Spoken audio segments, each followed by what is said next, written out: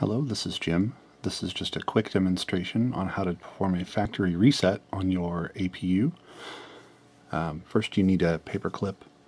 Um, I'm going to use this little guy that came with one of my cell phones. It's a nice little tool. It's just got a little pokey part on the end. If you have a paper clip, you just unbend it. This just makes it handy because it's got a nice handle on it. Uh, the first thing you do is remove the power from the back. Notice the LED went out press this in the hole right here and you'll feel it depress a little bit. Just hold it there and then apply power. And now we just need to wait for the system to boot up, recognize that the button has been pressed, and then reset the configuration. We'll be able to tell this uh, by a set of tones that come out of the unit when it hits the right spot. But it can take you know 30 seconds or a minute. So we just sit here and hold this in.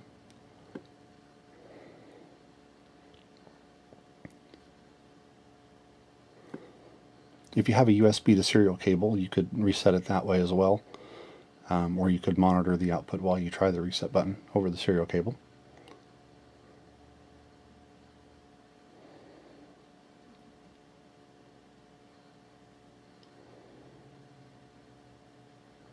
Just keep holding it in.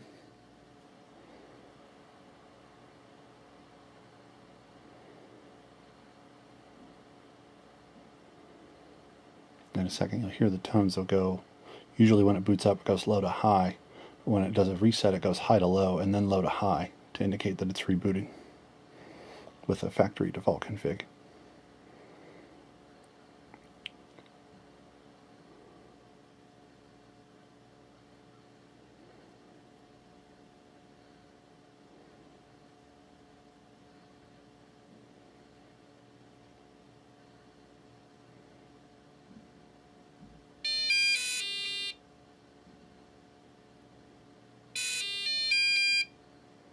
And there it was.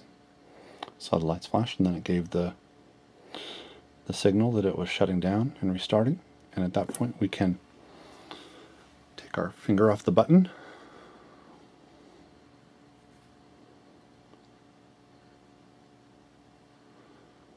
And uh, we'll then continue to boot. And it, when it comes back up, now you'll hear the tones again to signify that it came all the way back up. And that's it. Now it's factory reset back to the default configuration. That doesn't remove any package files or anything from the file system. It just takes your configuration itself and reverts it back to the factory defaults. Uh, if you need something more intense, you might have to reimage the, the device, but if you uh, still need help, just contact us for support. Thank you.